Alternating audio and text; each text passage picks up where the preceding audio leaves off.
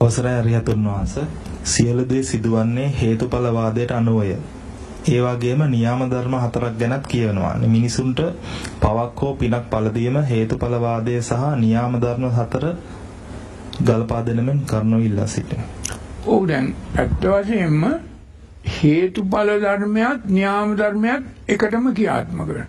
දැන් අපි උදාහරණයක් ගමු. තමන් කලේ කර්ම නියාමයට අදාළ දෙයක් නම් ඒ කර්ම නියාමයට අනුව තමන් කරපු හේතුවට අදාළ ඵලය තමන්ට ලැබෙනවා. තමන් කලේ ඒ දේ ධර්ම නියාමයට අදාළ නම් ධර්ම නියාමයට අදාළව ඒ ඵලය උරුම වෙනවා.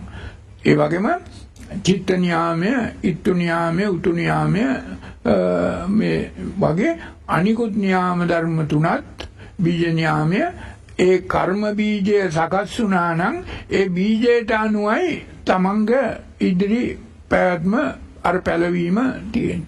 ඒක නිසා මේ හේතු වෙනස් කරගෙන තමන්ට පුළුවන්කම තියෙනවා නියාම ධර්ම වලට අර ධර්ම නියාමයට අනුව කටයුතු කරන්න පුළුවන් වෙනවා කර්ම නියාමය බීජ නියාමය අත්හරින්න පුළුවන්. ඒක නිසා මේ නියාම ධර්ම වෙනස් කරන්න කාටවත් බුදු කෙනෙකුටවත් විශ්වකර්මයෙකුටවත් බෑ. හේතු වෙනස් කරන්න පුළුවන්කම තියෙනවා. හේතු වෙනස් කරගත්තොත් අපිට පුළුවන්කම තියෙනවා ධර්ම නියාමයට අනුව කටයුතු කරන්න කර්ම නියාමයට අනුව කටයුතු නොකරන්න. ඒ අනුව මේ න්‍යාම ධර්ම තේරුම් ගැනීමත් ඊටාම වැදගත්. ඊටත් වඩා වැදගත් තමන් කරන හේතුව තමන්ටයි විනාශ කරගන්න පුළුවන්.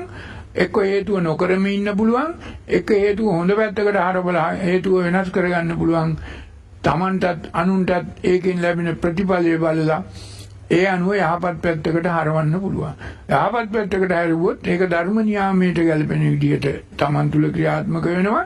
හේතුවට හැඟීමට හිතට වහල් වෙලා කටයුතු කළොත් ඒක කර්ම නියාමයට අනුව තමන්ගේ හිතේ ක්‍රියාත්මක වෙනවා. ඒක නිසා මේ කර්ම නියාමයයි ධර්ම නියාමයයි මේ න්‍යාම ධර්ම අතරින් තමන් කරන හේතුව නිසාමයි කර්ම න්‍යාමයේ හෝ ධර්ම න්‍යාමයේ තමන්ට උරුම ඒකයි මේ න්‍යාම ධර්ම කිව්වේ. න්‍යාම කියේ නියත ධර්මතාවයන්. වෙන මොකක්වත් නෙමෙයි.